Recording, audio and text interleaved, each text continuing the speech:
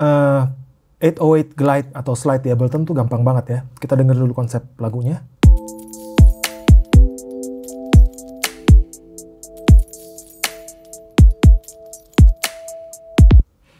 Uh, kemudian kita pilih 808-nya, gua ambil dari Simatic aja. Uh, Oke. Okay.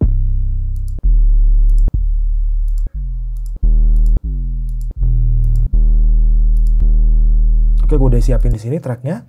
Gue udah siapin juga MIDI-nya. Kemudian kita tinggal double klik, otomatis masuk ke Simpler. Di Simpler sebenarnya udah bisa langsung ya. Kalau kita ke Control, kemudian di sini ada Glide off, uh, on, uh, off, portamento, glide, kemudian time-nya juga ada di sini. Untuk lebih leluasa memodifikasi, kita klik kanan, rubah dari Simpler ke Sampler. Di sini ada filter global. Nah, kita nggak usah pakai filternya. Nah, di filter global ini ada voices sebelah kanan bawah, kemudian ditaruh di satu, karena takutnya kalau di glide ada dua note, itu dia bunyi dua-duanya.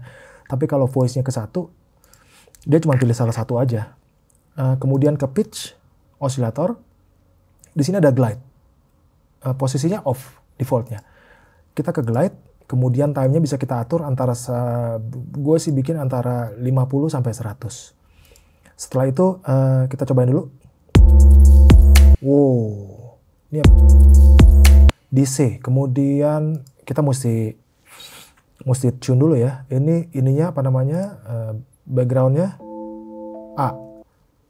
Kemudian ininya C. Berarti kita mesti rubah rootnya di sini jadi E3. Ya.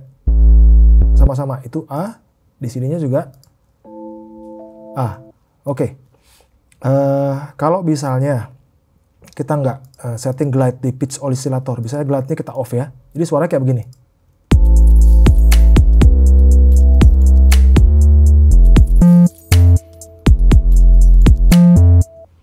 Tapi kalau kita udah glide-nya kita on-in, kemudian time-nya bisa kita atur sendiri, gue biasanya 100 aja. Uh, kemudian kita dengerin lagi.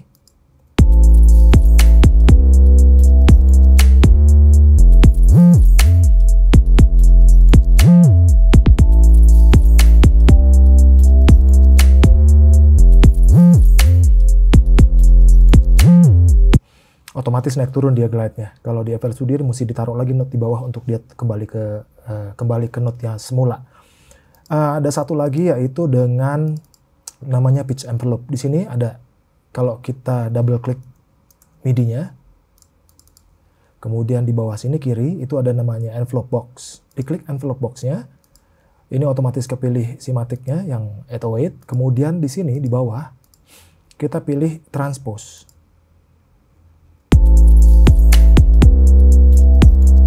Misalnya gue mau turun di sini nih. Tinggal diklik dua ini apa namanya dua titik kemudian di kira-kira mau turun uh, 6 semitone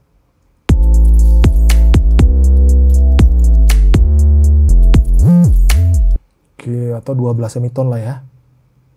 Atau satu oktav. Kemudian kita bisa bend dengan pencet option atau uh, alt di Windows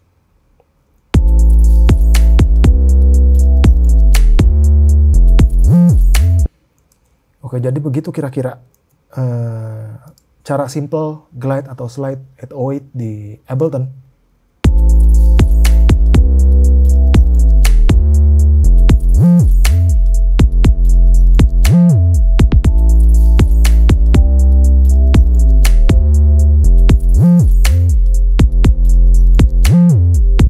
Semoga bermanfaat. Ini uh, konsep dasarnya. Kalau untuk memodifikasi advance lebih banyak lagi eksperimen karena eksperimen adalah guru yang terbaik. Sampai ketemu. Terima kasih.